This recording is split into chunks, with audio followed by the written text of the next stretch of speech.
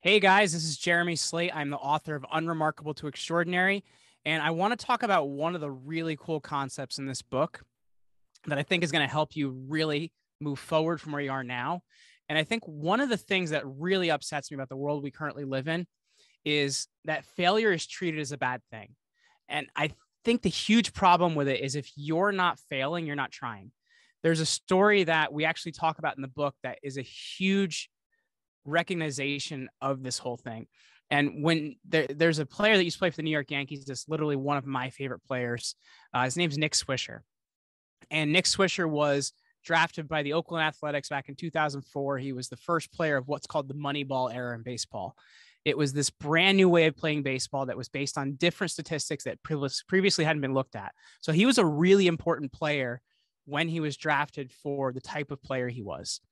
Nick Swisher's dad, Steve Swisher, was a first round draft pick in the 70s, and he had a long career in Major League Baseball.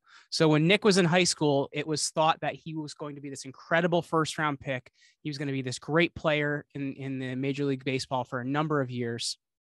And he had this prolific high school career, but he went undrafted out of high school, which was unthought of. That was a huge failure. People said, wow, son of a major leaguer, and he's not going to play in the major leagues.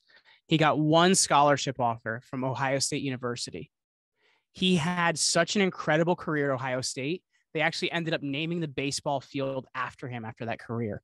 He was then later on in 2004 drafted in the first round by the Oakland Athletics, went on to become an all star, win a World Series with the New York Yankees. But if he didn't fail, he wouldn't have learned different things about the game. He wouldn't have created opportunities for himself and he would not have set himself up to become the player he became.